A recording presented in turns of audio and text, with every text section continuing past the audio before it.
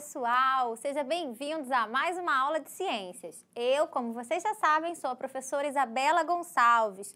Eu sou uma professora negra, estou hoje vestindo uma calça jeans e uma blusa rosa. Bom, a primeira pergunta na aula de hoje que eu faço para você é a seguinte: você aí de casa, você acha que você está adaptado ao ensino remoto? Será que você está adaptado ao ensino híbrido, parte na escola, parte em casa? Ou só está adaptado mesmo ao ensino presencial? Ah, professora, por que você está perguntando isso? Porque a aula de hoje vai ser sobre ó, a adaptação dos seres vivos e é isso que a gente vai falar na aula de hoje. Por quê? O que é adaptação? Você tem ideia?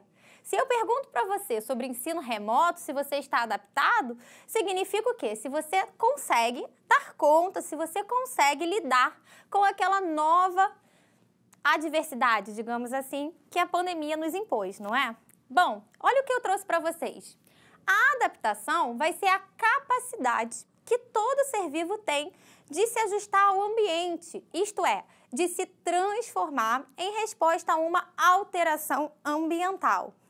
Além disso, essa adaptação, ela pode ser como uma estrutura anatômica, um processo fisiológico ou comportamento peculiar que evoluíram por seleção natural e vão se aperfeiçoando a habilidade daquele organismo de sobreviver e deixar descendentes. O que, que eu quero dizer com isso? Você só vai estar adaptado mesmo se você conseguir chegar à idade reprodutiva e deixar os seus descendentes, e aí sim essa adaptação pode ou não ser passada adiante. Bom, e como é que são as adaptações que a gente encontra por aí na natureza? Vamos conhecê-las? A adaptação, ela pode ocorrer em dois níveis. Primeiro, referente aos indivíduos. Então, a adaptação ela pode ser individual, que a gente vai chamar de homeostase. Quando um organismo percebe as condições do ambiente e se ajusta a elas. O que, que significa homeostase? A homeostase nada mais é do que a condição de equilíbrio. Então, sempre o seu corpo ele vai tender a um equilíbrio. Seja quando você está num ambiente muito quente, o que, que vai acontecer? Você vai começar a produzir grande quantidade de suor. Por quê? Aquela quantidade de suor ela vai fazer com que você acalme um pouco a temperatura do seu corpo de forma a equilibrar, a não entrar aí numa temperatura muito alta. Imagina, se você acaba ficando com a temperatura do ambiente, vai ter problemas nas suas células fisiológicos. E a adaptação, ela também pode ser a nível de população. A nível de população, a gente vai conhecer como adaptação evolutiva, quando uma população se ajusta ao ambiente ao longo de sucessivas gerações. Agora, quando eu pergunto para vocês se vocês estão adaptados ao ensino remoto, eu estou falando sobre o quê? Uma adaptação individual, tá bom, pessoal? É claro que cada um vai ter o seu tempo, vai ter o quê? Alguma condição que vai favorecer ou não a adaptação àquela situação adversa. Vamos conhecê-las. A adaptação individual, homeostase, vai ser quando esse organismo percebe as condições do ambiente e ajusta-se a elas. Então já tem aí o exemplo que eu trouxe do suor. Outro exemplo de adaptação individual, quando os jogadores eles vão para algum lugar de grande altitude, como por exemplo na Bolívia. Então, em cidades como La Paz, a altitude, o que, que vai acontecer? O ar é rarefeito. O que, que é o ar rarefeito, professora? A concentração de oxigênio disponível é menor.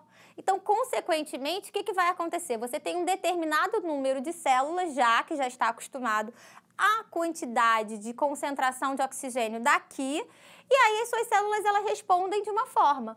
A partir do momento que você vai para um lugar de grande altitude e a concentração de oxigênio cai, aquelas células elas não vão dar conta. E o que, que vai acontecer? Você vai se sentir cansado, você vai se sentir com falta de ar, porque você vai demandar muita energia para fazer, no caso, o treino ou mesmo a partida de futebol, e você não vai ter o oxigênio que você está acostumado. E por isso, o que, que acontece? Você tem dois caminhos aí. O primeiro é você ir antes da partida, pelo menos dois dias antes, de forma que o seu corpo ele vai se adaptar. Então, essa adaptação ela vai ser individual, porque você vai ter um aumento no número de hemácias, que são as células que vão carregar os gases, e, consequentemente, você vai conseguir ter um resultado satisfatório na partida. Outra possibilidade é o quê? É você ir na hora praticamente do jogo, porque assim as suas células não conseguem ter tanta, sentir tanto essa diferença. Olhem aí, a imagem que eu trouxe para vocês é que depois o que, que acontece da partida? Os jogadores eles acabam ficando no oxigênio, eles acabam recebendo esse aporte de oxigênio devido ao cansaço intenso. E por último eu trouxe o que? A produção de melanina. A produção de melanina ela acontece quando você recebe uma alta intensidade por muito tempo, uma exposição, Consequentemente, você vai ter uma grande produção de melanócitos e por isso você tem aí o bronzeamento. Agora a gente vai falar da adaptação evolutiva. A primeira delas é a camuflagem, que vai ser o quê? O fenômeno que o ser vivo se assemelha ao ambiente. Então gravem isso. Camuflagem, eu vou ter sempre o quê? O animal, o indivíduo, na verdade, ele vai se camuflar sempre ao ambiente. Ele vai mimetizar o ambiente Consequentemente, ele vai ter o quê? Uma vantagem de não ser predado. Vamos voltar para o slide. Eu trouxe o exemplo do polvo e é muito legal que ele foi tentar se camuflar e já tinha um outro indivíduo ali camuflado que ele não percebeu. E olha o que acontece. Esse é muito bacana. Outro exemplo é da raposa. A raposa do Ártico, ela muda a pelagem de acordo com a estação. Se eu tenho a estação do verão, que a paisagem ela se modifica, ela vai ter uma pelagem mais escura. Se eu estou no período de inverno, ela vai ter uma pelagem clara para ficar o quê? Camuflada com a neve. Outro exemplo aí é o camaleão. Acho que todo mundo conhece aí essa sua capacidade de mudar a coloração da sua pele de acordo com o ambiente. Eu trouxe também o bicho folha, que ele se adapta, né? A forma dele é exatamente como uma folha, dificultando a sua predação. Bom, em relação ao mimetismo, agora a gente vai ver a adaptação evolutiva quanto ao mimetismo. A gente tem o primeiro exemplo. O que, que vai ser, na verdade, o mimetismo? Determinados organismos, denominados mímicos, né, vão ter características que os confundem com outro grupo de organismo, que vai dar uma certa vantagem. O exemplo que eu trago da coral. Eu tenho a coral verdadeira, que ela já vai ser conhecida por ser uma espécie venenosa, e, consequentemente, eu vou ter a coral falsa, a cobra coral falsa. O que, que vai dar a ela essa vantagem? Ela não será predada. E ela não tem nenhum veneno em relação à cobra coral verdadeira. Mas ela é mimética a essa espécie que é venenosa. Outro exemplo é a orquídea zangão ela se assemelha a um zangão para facilitar o quê? A polinização. Quando um animal vai lá para copular, né? No caso, uma abelha, enfim. E aí ela vai ter aí a sua polinização sendo realizada. A gente tem a questão da coloração de aviso, de advertência, ou a gente vai conhecer como aposematismo, que vai ser nada mais do que uma coloração de alerta. Ó, não mexe comigo porque eu sou venenoso. Isso é muito comum nos anfíbios e alguns répteis. Então eu trago aí algumas pererecas que têm essa coloração mais viva e também a cobra coral. É muito legal, pessoal, porque na natureza, na evolução, né, o que, que vai acontecer? A coloração de aviso, o próprio animal que costuma predá-lo, outras espécies daquele grupo, ele sabe que aquela coloração ela serve como uma, um alerta, ó. Não mexe comigo porque não vai se dar bem. E acaba que outras experiências pretéritas de tentativa não deram muito certo e isso foi passando, né? No caso de geração em geração, de forma que os indivíduos não são predados com essa coloração. Muito legal. E olha, eu trouxe outros exemplos de adaptações, porque elas não param naqueles que eu trouxe, não. Um que eu trouxe para vocês é do bico das aves. Vocês já pararam para pensar que o bico de toda ave, ele vai contar a história de como o pássaro se alimenta?